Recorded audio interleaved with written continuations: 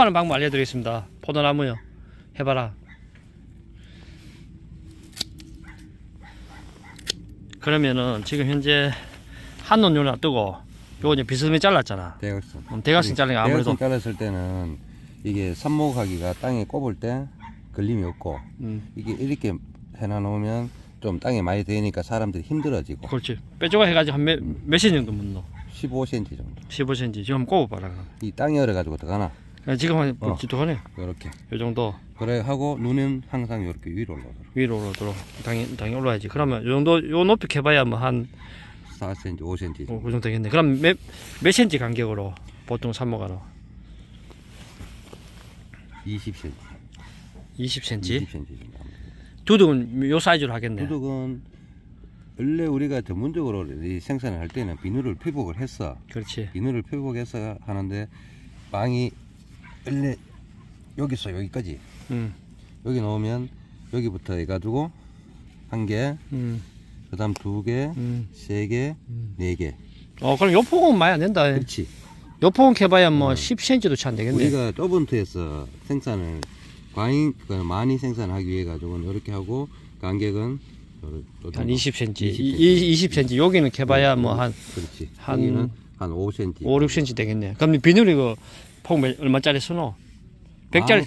망, 망을 이 우리가 줄을 90cm 망을 뜨면 90cm 뜨면 비늘 피복은 1m짜리 1m. 그렇지 가에 또 내려와야 되니까 묻으니, 묻으니까. 묻으니까. 줄에 1m짜리 많이 쓰네, 그러면.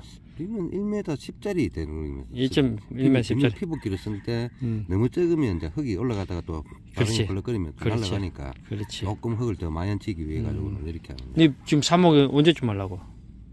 삽목 3월 언제쯤? 3월 한 10일 10일. 삽목 세 가지고, 니 이거 밑에 꼽을 때 그냥 꼽나? 뭐, 그 약품 처리 안 하고?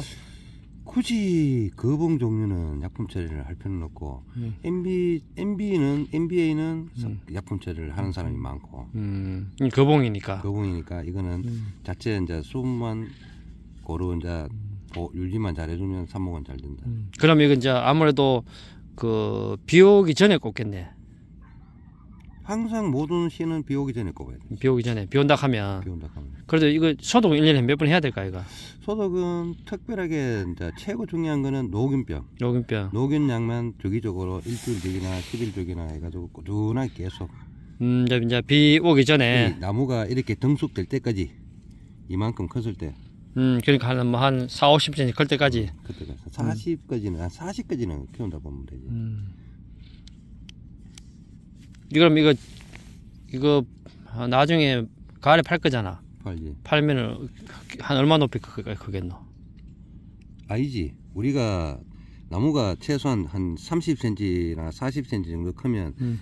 일단 옷, 옷 순을 카팅을 하지. 음, 카팅을 하고 음, 그러고 나면 다시 이제 또 나무가 여기서 눈 터졌을 때 음, 부스가 좋아야 되니까 음. 굵기 굵기가 좋아야 되니까 음. 그래 카팅을 하고 위에 또 가지 버리지면 또 카팅을 하고 그래야지. 음, 그니까 한 음.